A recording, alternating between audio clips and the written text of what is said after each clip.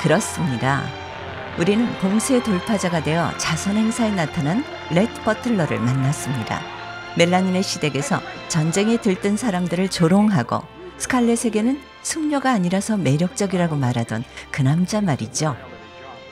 막가는 flirting을 자행했던 그놈의 출현에 스칼렛은 경악합니다. 하지만 스칼렛은 레트하고 친해지죠. 레트는 사실 스칼렛의 취향에 딱 맞는 남자였거든요. 애슐리보다 훨씬 더요. 스칼렛은 힘을 사랑하는 인간이었습니다. 그래서 작고 허약한 멜라니는 스칼렛에게 미움을 받고 있었죠. 그런데 레트는 반대로 아주 키가 크고 몸이 좋은 남자였습니다. 당시 부유층들은 근육질이라든가 까무잡잡한 피부를 육체 노동의 상징으로 여겨 낮춰봤답니다. 내가 그래서 운동을 안 운동 안 하려는 핑계가 좀 찌질합니다. 어쨌든 레트 버틀러를 연기한 배우 클라크 게이블은 당시 최고의 섹시 아이콘이었습니다. 알고 계십니까? 클라크 게이블이 언더셔츠, 우리가 흔히 말하는 런닝구, 런닝샤쓰를 죽인 사람이라는 사실을요. 클라크 게이블의 영화 어느 날 밤에 생긴 일이 개봉할 때까지만 해도 남성들은 와이셔츠 아래 언더셔츠를 받쳐 입는 것이 상식이었습니다. 하지만 영화에서 게이블이 와이셔츠를 벗고 맨몸을 드러낸 순간 언더셔츠는 종말을 맞았죠.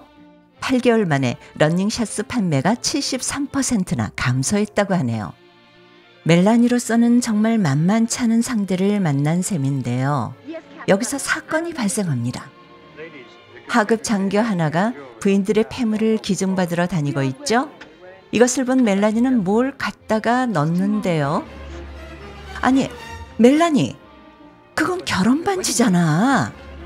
스칼렛이 있으니 그건 이제 필요 없다는 거야? 운명의 라이벌인 레트가 출연해서일까요? 아니, 아무리 경쟁의식이 불타도 그건 아니죠.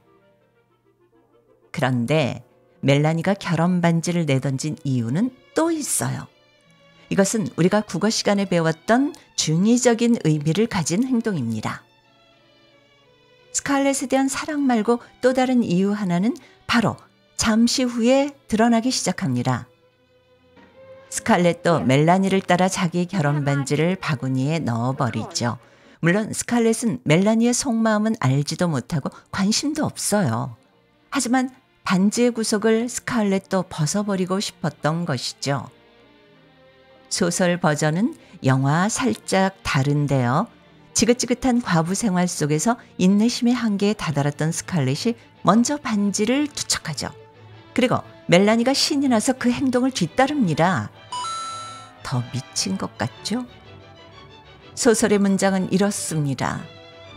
Oh, my darling. 멜라니는 속삭였다. 스칼렛의 팔을 붙잡으며 사랑과 자부심에 불타는 눈으로. 네가 그렇게 용감하지 않았더라면 나도 그러지 못했을 거야. 네, 이 광기 어린 순간에 의사 선생이 난입합니다. 자선 행사의 주최자인 미드 선생은 어떤 일에 관하여 멜라니의 허락을 맡고자 합니다. 여기서 멜라니에 관해 영화의 설정이 소설이랑 가장 다른 점이 드러나죠. 영화에서 멜라니는 이 시점에서 이미 애틀랜타 시민사회의 실세입니다.